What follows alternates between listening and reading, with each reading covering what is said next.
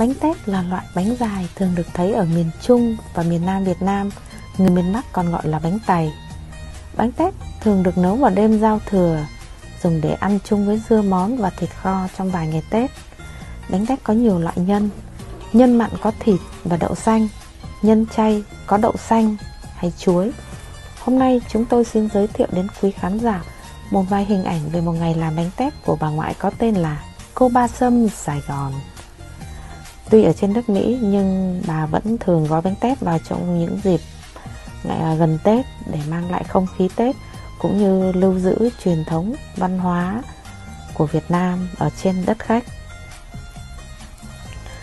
Bà gói theo công thức riêng của bà và bánh rất là ngon, rất là đẹp.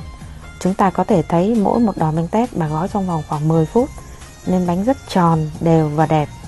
Sau khi gói, bà sẽ luộc trong vòng khoảng 8 tiếng đồng hồ.